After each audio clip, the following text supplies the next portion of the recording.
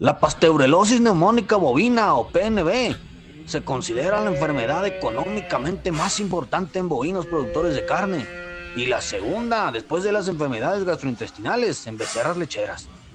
Todos los laboratorios tienen soluciones que protegen a los animales vacunados de este y de otros problemas respiratorios. Acércate a tu médico veterinario.